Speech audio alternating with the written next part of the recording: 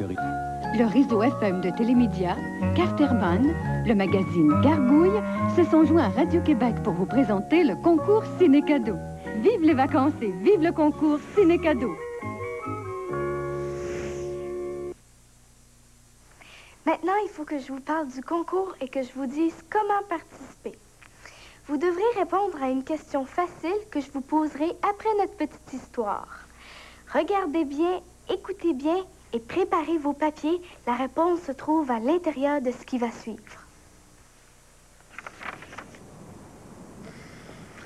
Quand on regarde les crèches de Noël, on ne se rend vraiment pas compte que Jésus est né dans un pays chaud. Elles sont couvertes de neige. il n'y en a pas à Bethléem. Il n'y a pas de sapin non plus. C'est un pays de sable, d'olives et de palmiers. Alors, qu'est-il arrivé pour qu'on retrouve ainsi de la neige partout? Et le Père Noël, lui, pourquoi habite-t-il le pôle Nord, un pays froid? Eh bien voilà, c'est que Noël a remplacé les fêtes païennes que les anciens des pays du Nord célébraient pour apprivoiser l'interminable hiver. Et comme ces fêtes avaient lieu dans la neige et les sapins, la coutume s'est répandue. De plus, chaque pays ajoute à Noël une touche personnelle. En Afrique, par exemple, la mère de Jésus a souvent la peau noire. À Rome, les personnages de la crèche ont tous l'air italiens. Chez nous, au siècle dernier, un conte disait que les rois mages étaient trois chefs amérindiens. Figurez-vous qu'en Australie, Noël arrive en pleine canicule. C'est le début des grandes vacances et on organise des pique-niques sur le bord de la mer.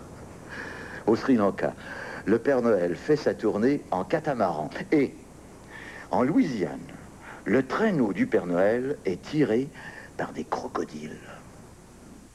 Voilà, c'était notre récit. Êtes-vous prêt pour la question? La voici. En Louisiane, quels animaux tirent le traîneau du Père Noël?